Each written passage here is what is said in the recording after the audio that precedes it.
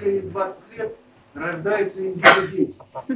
Воспитывать их невозможно нам в среде, потому что они значительно выше разума.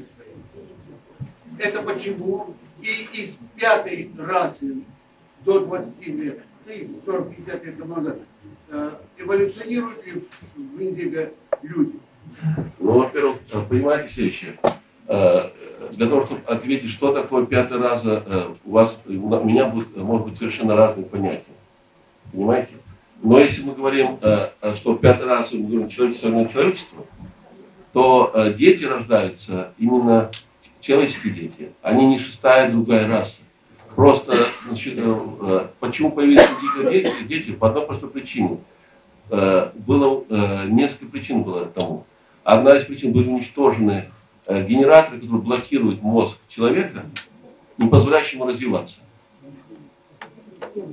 Но вопрос второй кем? Но были уничтожены. В результате этого мозг человека начинает развиваться нормально. Потом, следующий момент.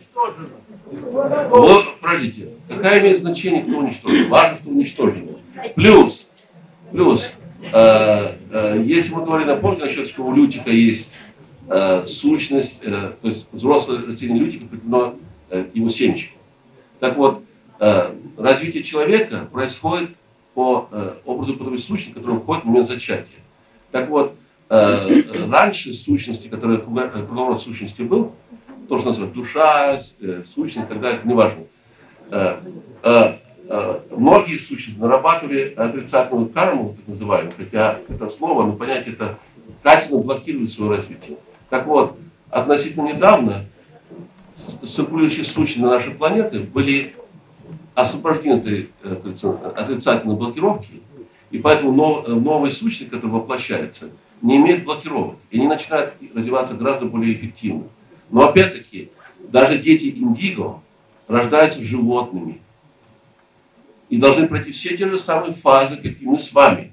И если вы, к примеру, правильно будете развиваться, то вы можете достичь вещ, э, э, уровня э, развития гораздо выше, э, если правильно развиваться, чем те же дети индиго. Если найдете метод, как и что. Понимаете? Поэтому когда пытаются говорить, что вот типа вот мы такие примитивные, мы должны вымереть, а пойдет новый раз. Это зачем? Нужно развиться, и развитие самого человека выводит на другой качественный уровень. И это и будет новая раса. Просто людей эволюционно продвинутых. Но для этого нужно опять-таки развиваться и развиваться правильно. Не, э, потому что любое действие, которое мы совершаем в нашей жизни, влияет на нас и оставляет отпечаток. И зависит от какого это действия, какого качества, что, э, на что оно влияет, какой отпечаток вставляет. И где этот отпечаток вставляется. Мы можем или идти вверх, или идти вниз. И это опять-таки не, не, это не какой-то философский понятие, а абсолютно реальный процесс, эволюционный процесс развития живой материи, которая многомерна по своей структуре. И пока мы живы, это единое целое. Но когда мы умираем, вот эта вот физическая оболочка отпадает, не состояние больше обеспечивает другим и мы разделяемся. Но того, как мы умрем, мы происходит единое целое. Именно это единое целое и существует, как живая материя, именно это единое целое и может мыслить. Потому что, как ни пытались найти мысль в нейронах мозга, ее не нашли. А мы свои мысли, да? То есть записать мысль чисто электромагнитные колебания, кто записывает, невозможно. Потому что биохимические процессы, электрохимические процессы, которые происходят в нейронах мозга, не является мысленным процессом. Мысленный процесс происходит на совершенно других уровнях. Именно поэтому, когда человек приходит к ему время и умирает, если повезет, вернется, то состояние клинической смерти ведется назад, он может видеть свое тело со стороны, он мыслит, чувствует, понимает все. Потому что мысль, мышление, наша личность находится на физическом уровне. Физический уровень – это фундамент, это, э, говорится, основа того, что является человеком, не только человеком, начиная даже с вируса. Вирус имеет другой уровень, только, конечно, гораздо более примитивный, чем он.